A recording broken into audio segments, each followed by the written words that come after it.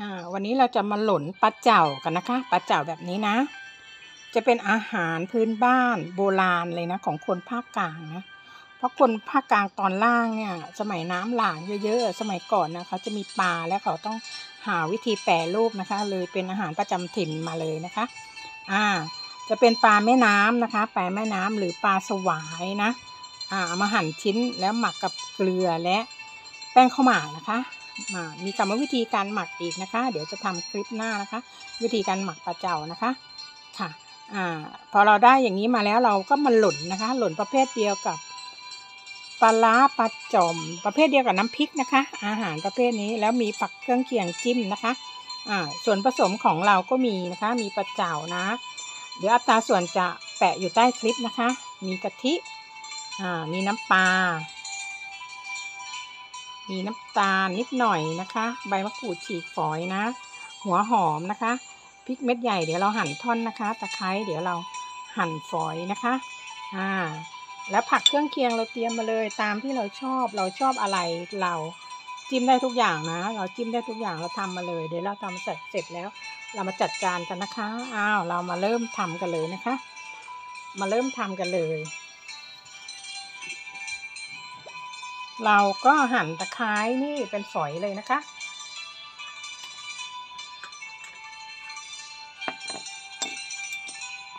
ตะไคร้นี่เราล้างมาเรียบร้อยแล้วนะคะ ล้างมาเรียบร้อย ตะไคร้นี่จะดับกลิ่นคาวนะคะเวลาเราหล่นหั่นแบบนี้เลยนะคะ บางคนก็ชอบให้ใส่เยอะ ๆ นะ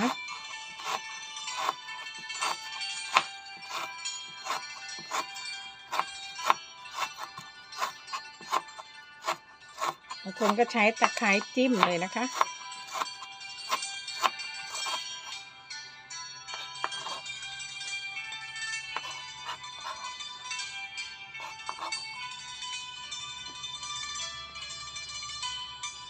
พริกเราหั่นเป็นท่อนเลยนะคะ ตามชอบนะ ส่วนมากจะตัดแบบนี้เลยนะคะ หลน นี่นะคะ ประเภทหล่นพวกนี้หั่นพริกแบบนี้เลยนะคะพอเราจะตักเป็นชิ้นแล้วก็สวยงามโรยหน้าด้วยนะคะ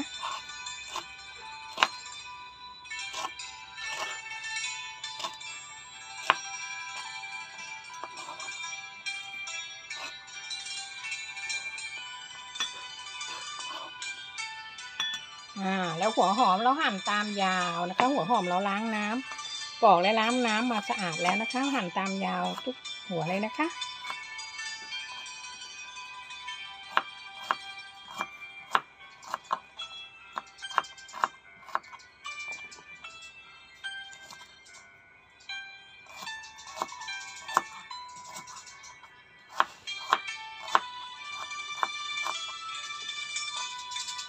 หัวหอมยิ่งใส่เยอะยิ่งอร่อยนะคะ ราะว่าหอมเนี่ยเวลาโดนความร้อนแล้ว จะหวานน้ำจะออกมาหวานเลยนะคะ น้ำจะหวานธรรมชาติ และอีกอย่างเป็นกันหวัดได้ดีที่สุดเลยนะคะ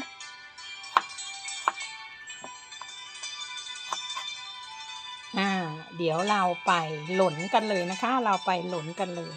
ขั้นแรกเราตั้งกะทิก่อนเลยนะคะ ตั้งกะทิให้ร้อนนะคะอ่า เราไปทำวิธีหล่นกันเลยนะคะ อ่า พอเราติดไฟแล้วนะคะ เราใส่กะทิลงก่อนเลยนะคะ อ่า แล้วเราแบ่งนิดนึงเอาไว้ทำหัวนะคะ เอาไว้ตอนท้ายนะกระเจ้าลงเลยนะคะ อ่า ใส่น้ำปลาลงไปเลยนะคะ รอให้เดือดนิดนึง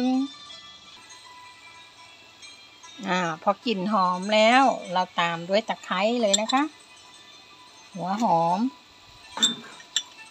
ตาลนิดนึงอ่า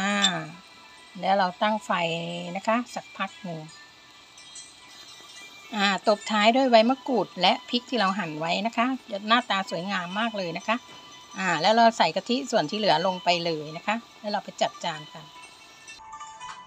อ่าเราหล่นมาหน้าตาสวยงามนะคะ เดี๋ยวเรามาจัดจานกันเลยนะคะ จัดจานแล้วให้แลดูน่าทานนะคะอ่า